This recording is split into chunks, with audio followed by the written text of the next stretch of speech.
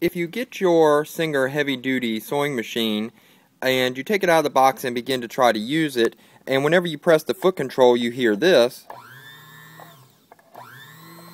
and you get no movement from the needle or the bobbin winder, you hear nothing but a but a running motor like that.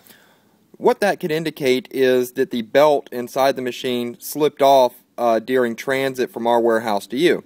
Not a big problem, easy to correct. What you want to do first is turn off the machine, disconnect the power cord.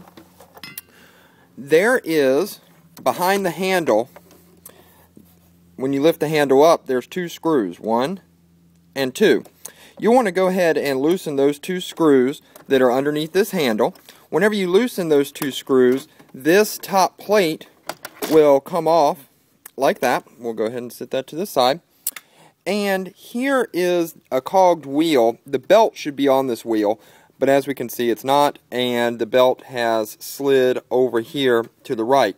Not a big problem. Uh, what you'll want to do is normally I just take and take a screwdriver like I'm doing here and you can just simply grab a hold of that belt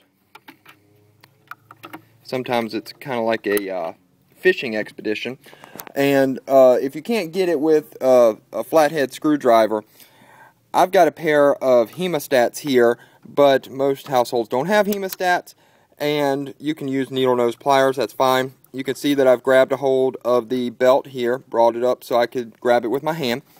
You'll just take and slip that belt onto that cog wheel. It'll probably go onto a portion of it, and then just turn the wheel to get it to fit on the rest of the uh, cogged wheel. And it slipped on there. Then we'll go ahead and put our top back on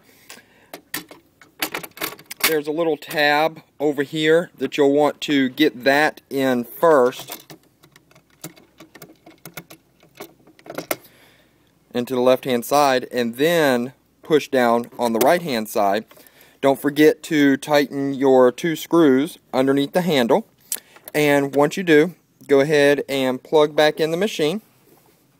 Go ahead and power it on and you should now have motion from the needle and when you press your bobbin winder to the right, your bobbin winder works. If you have any questions, please feel free to contact our support team at support at sewinginusa.com.